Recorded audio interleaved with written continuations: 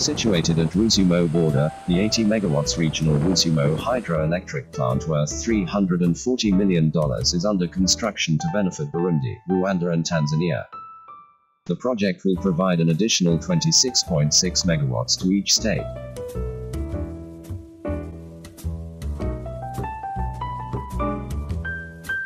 The project started in uh, February 2017. Um, we expect it to be finished in the early part of 2020. We have uh, power coming to all three countries probably in February 2020. Um, the project size is about 80 megawatts and uh, we have a small dam, uh, a tunnel of about one kilometer and a powerhouse with a switchyard. So in, in terms of a project, it's um, a doable project and it's at a value of approximately 360 million US dollars. Transmission lines that will connect the power plant to the national grids in the three countries is financed by the African Development Bank with $121 million. About 188 households expropriated are under a livelihood restoration program.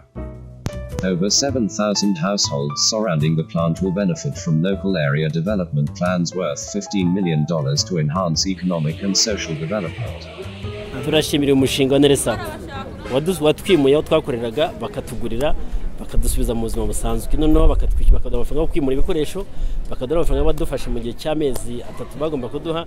None uyu munsi bakaba batugodesheje inzu bakatwishyura ibikoresho tugasubira mu buzima bwo gucuruza bugarasa nk'uko twacuruzaga mbere The evaluation was based on market price of affected assets and we had tools in place to ensure that we mitigate against uh, any uh, complaints or even uh, um, mistreatment or mishandling of any compensation. We had the grievance redress mechanism, we had the resettlement committee members. So we did this kind of work, right, not us as the project alone, but in partnership with local structures. On Rwandan side, we only have 53 households, and on Tanzanian side, we have 103 households. The project is being implemented by the Nile Equatorial Lakes Subsidiary Action Program Coordination Unit mandated by the three countries.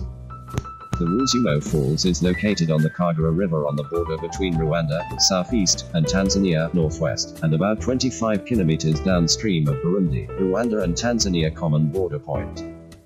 The falls are approximately 15 meters high and 40 meters wide. The Rusumo Falls was identified as a potential area for hydropower generation as early as 1970s to address inadequate energy, which is one of the major socio-economic development challenges facing Burundi, Rwanda and Tanzania.